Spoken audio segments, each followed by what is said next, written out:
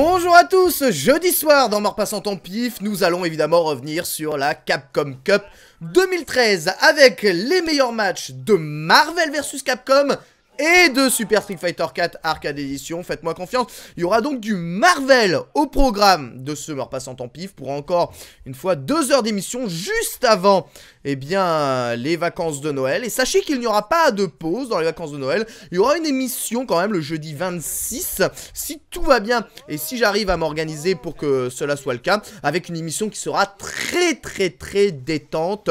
Je vous en parlerai un peu et en ce moment, je vous propose donc les matchs inédits de la version, euh, on va dire bêta 2 euh, de euh, comment de Ultra Street Fighter 4 avec actuellement sur vos écrans un match entre PR Balrog qui joue Elena et Alex Vaillé qui joue Rolento. Comme vous pouvez le voir, et eh bien dans cette deuxième build euh, de euh, cette version d'Ultra Street Fighter 4, eh bien, on a intégré les stages de Street Fighter Cross Tekken qui sont présents et qui sont, on va dire, réellement remaniés, repensés à la fois bien moins flou et bien moins fou pour s'intégrer un peu plus, et eh bien, on va dire, à la pack graphique et aux palettes de couleurs euh, de Street Fighter 4. C'est plutôt bien fait en tout cas pour ce qui est de ce stage là et ça présente aussi l'intérêt que ce sont euh, eh bien des stages qui sont très évolutifs les stages de Street Fighter Cross Tekken ça c'était vraiment une très très bonne idée d'ailleurs euh, dans l'ensemble. Et ce stage d'ailleurs de la sidérurgie hein, qui euh, refait évidemment penser au stage de Zangief de Street Fighter 03 qui à mon avis eh bien est un thème tout choisi pour ce pour ce match. Avec pour le moment Père Balrog vous avez vu qu'il utilise beaucoup la focus hein, d'Elena. Et le Link Qui permet, euh, alors, euh, apparemment, de linker l'ultra juste après ça. Ouais, ça c'est superbe, bien joué. Vous voyez derrière le EX Mallet Smash, qui est donc un, overhead euh, d'Elena, et ben vous pouvez linker bas petit pied, bas petit pied, évidemment, juste après envoyer combo. Et comme vous pouvez le voir, et bien c'est extrêmement rapide, beaucoup plus rapide que ne peut l'être un simple un simple euh, Azanshu de Chun-Li. Mais vous voyez, parfois, eh bien, ça va un tout petit peu trop vers l'avant. On va utiliser l'arrêt de focus pour pouvoir avancer. La paire Balrog, il semble être complètement au parfum qu'il fait. Encore une fois, focus, mais à prendre l'ultra gratuite. Hein, parce que sur tous les Patriots Circle EX et toutes les Rolling EX, eh bien, Rolento a l'ultra gratos. Je vais vous proposer un match d'ailleurs euh, juste après celui-là où, euh, eh bien, c'est... ouais, très bonne focus, va passer l'ultra et ça va être terminé. Je pense que c'est comme parce que l'ultra chargé full bar en choix d'ultra pas ultra double, ça peut faire juste des dégâts. Vous voyez, termine évidemment avec ce effet, mais le Machet qui retourne malheureusement Père Balrog dans le coin, qui va pas prendre la fin de stick. Vous voyez, ce stick qui permet de rebondir et de faire des devants derrière, très ambigu. Et Père Balrog qui remporte son match 2 à 1 face, eh bien, à Tonton Vaillé. Bien accroché en tout cas ce match-là. Et je voulais vous proposer dans ce teaser en tout cas les matchs d'Ultra Street Fighter 4. Alors sachez, peut-être ça sera votre déception, peut-être je me ferai jouer que je ne vous proposerai pas de match de Street Fighter Cross Tekken euh, dans ce mort passant ton pif. Déjà parce que j'ai pas le temps de tout faire. Et ensuite parce que même s'il y a eu des matchs intéressants, euh, les matchs sont globalement, euh, on va dire globalement assez chiants hein, dans l'ensemble. Et bon, c'est vrai que ça n'a pas malheureusement euh, remis Street Fighter Cross Tekken réellement dans... au goût du jour, même s'il y avait de très très bons joueurs. Euh, je peux vous spoiler tout de suite, hein, puisque je vous ne proposerai pas des matchs. C'est Infiltration qui, une nouvelle fois, deux années consécutives, hein, qui a remporté eh bien, ce, ce, tournoi euh, face à Karma Bison, il me semble. Euh, tombeur de Justin Wong qui est bien remonté euh, de toutes les losers après s'être fait euh, violemment sortir. Philippe Champ qui va jouer 7 et qui va nous montrer quelques technologies avec le, nouveau set. Alors ils étaient entre 7 et Delsim. Et il va prendre 7. Vous voyez, des costumes alternatifs qui sont directement intégrés à cette build. Et la caractère sélectrique n'a pas changé. En revanche, voilà, là on peut faire pause peut-être. Euh, je vais faire une petite pause. Vous avez vu, ils ont remanié la caractère select stage avec l'intégration. Alors, des nouveaux stages, si je calcule bien, je crois qu'il y a uniquement deux stages de Street Fighter Cross Tekken qui pour le moment sont intégrés. Le Mad Gear Hideout et euh, l'usine de sidérurgie. Voilà, donc comment ils ont pensé euh, le caractère select stage. Donc ce qui nous fait penser qu'il n'y aura pas un gros remaniement à la fois de graphique dans ce jeu, ni même de l'interface. Donc on se va se taper l'interface de Super Street Fighter 4.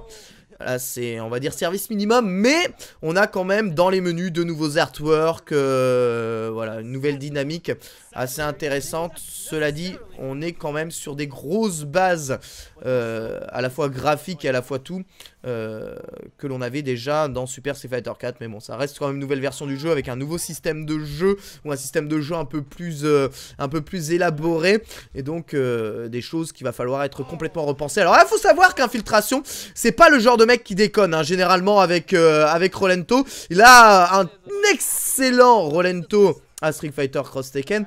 Et il l'a bien taffé, en tout cas sur les bornes qui étaient présentes euh, du jeu eh bien euh, son Rolento avec euh, un Rolento qui a pas grand chose à voir avec euh, le Rolento de Street Cross Tekken. Ouais, c'est ultra de les bien joué. Elle va passer dans la garde quand même, ce qui signifie un start-up assez long, mais c'est vraiment une ultra anti-projectile et une ultra qui punit un peu tout. Avec encore une fois, comme vous pouvez le voir, Rolento qui a la possibilité eh de faire des, des, roulades arrière et derrière cette roulade arrière, eh bien enchaîner des mix-up, saut, gros point ou, saut arrière avec des wall jump et, et tout un tas de mix-up assez intéressants Vraiment un perso avec des gros mix-up et cette glissade d'entrée de jeu ne semble pas être un gambit d'ouverture.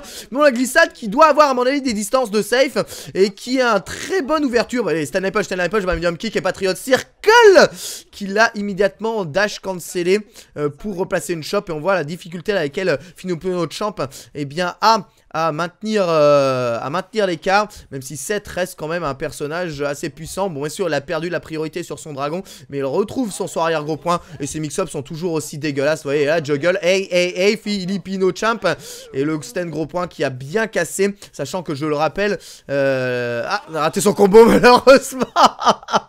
Des gros points, Sonic Boom, gros point, Sonic Boom, gros point à rien.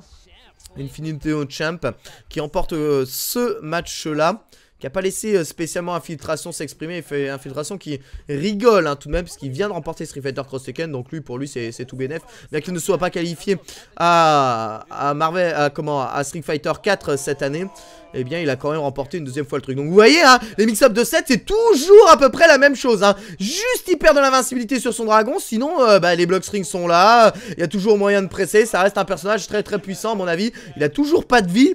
Et il y a toujours moyen de l'embrouiller. Elle est très bien joué, hein, ce petit euh, close gros point en entière. Avec ce 360 qui a pas vraiment de sens de la part de Champ.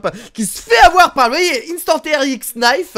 Qui est euh, un, coup très intéressant puisque c'est un coup à mix-up sur la relevée qui peut toucher devant derrière de façon très difficile à voir. Et il faut savoir que juste derrière ça, et eh ben, vous avez euh, possibilité de combo. Puisque les X-Knife en hit, bah, vous vous voyez en l'air. Et donc je pense que l'Ultra 1 même est complètement gratos. Fais attention là pour le moment. Et ah le problème de Rolento évidemment c'est qu'il a pas d'entière. Du coup les sauts euh, sur sa gueule sont complètement gratuits. On voit que le dragon rattrape toujours aussi bien le backdash. Mais que dans les décalages il a quand même pris des bas petits points qui semblent pas spécialement combotables. Bas points. Faut repasser par la position Stanley Punch à mon avis. Est très bon EX rolling arrière. Pour immédiatement punir ce dragon dans le vent. Et je pense qu'on va arriver à du 1 partout, même si la super est chargée et que Filipino eh bien, a toujours la possibilité de sauter assez gratuitement finalement hein, sur, euh, sur, euh, sur Rolento. Et c'est euh, un véritable problème hein, qu'il va falloir composer avec parce qu'évidemment les joueurs de Rolento vont être nombreux. Beaucoup à être fans de ce personnage-là. personnellement, je n'affectionne pas tant que ça, tellement je, le trouve un peu pauvre et chiant à crever, mais... Euh, c'est vrai qu'il a stylé, voilà Allez Le 360 dans le vent, c'est immédiatement ultra de ping La pendaison, papa, ça ne pardonne pas. Et voilà, c'est de ça dont je vous parlais. Instant X Knife, ça touche devant, ça touche derrière. Je ne saurais vous dire. En tout cas, la relevée, c'est complètement garanti d'envoyer ça. Ça fait mal, hein. Et là, Filipino, il s'est complètement euh, eh bien, pris la phase. Avec ce 1 partout ce match hein, que je vais vous commenter hein, jusqu'à la fin Juste pour vous montrer un peu les changements. il semblerait que le close HK laisse quand même un hitstun violent.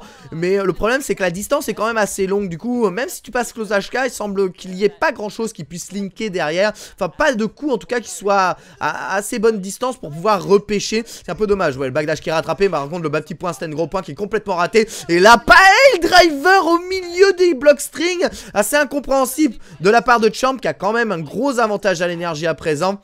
Même si, eh bien, son agressivité reste toujours la même. Toujours cette explosion de pet fouf qui, euh, eh bien, et je trouve assez molle. Et voilà, vous voyez ce gros point, Close HK. Et derrière Close HK, ben, infiltration, il a juste décalé. Et là, avec ce rôle, vous voyez, qui profite d'une certaine forme d'invincibilité qui évitera ses dive kicks.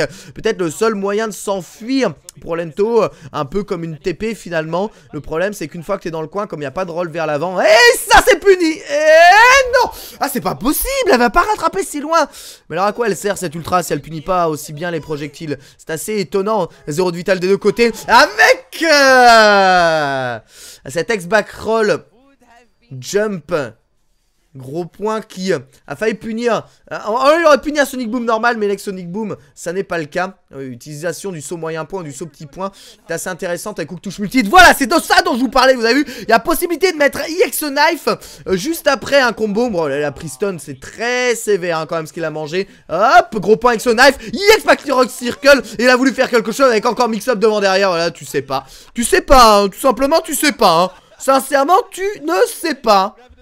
C'est violent, hein. C'est violent. Et on voit le stage qui est évolutif avec ici. Eh bien, finalement, on se retrouve avec une scène assez sombre où Sodom est en train de se faire poursuivre par un, gars euh, sodomite qui a visiblement envie de son boule. Voilà, la folie des cross tackle. Il envoie des drivers dans le vent. Je ne sais pas ce qui se passe hein, en fond d'écran, je ne veux pas le savoir. Mais c'est visiblement la Gay Pride. Hein. Et là, on s'interroge évidemment sur la moustache de Hagar. Est-ce que c'est un. probablement, euh, on va dire, un appel euh, ou un rappel à ce qu'étaient les Village People en leur temps. Euh, Freddie Mercury, tout ça, George Michael. On s'en souvient tous, mais on ne sait pas. Mais en tout cas, tout ce qu'on sait, c'est que Sodom se fait poursuivre par un Hagar qui visiblement a envie de le pécho et euh, là, euh, je pense que tout est dit. très bon EX euh, Rolling, vous avez vu, qui a encore évité le pile driver, mais se retrouve en grosse difficulté sans ultra placé. Après la blocable Focus level 3 à l'ancienne. Ting La pendaison papa, ça ne se commande pas. Voilà, victoire d'infiltration et de Champ qui fait son petit regard de dégoûté. Voilà, plus de matchs impressionnants et des matchs empreints de sérieux. Ce sera dans Meurt Passant Tant Pis, ratez pas parce que réellement, que ce soit à Marvel ou à Street Fighter 4, il y a eu des matchs incroyables et je vais essayer de vous faire une sélection des meilleurs. Merci à tous d'avoir suivi ce teaser et à jeudi prochain pour le Meurt Pis.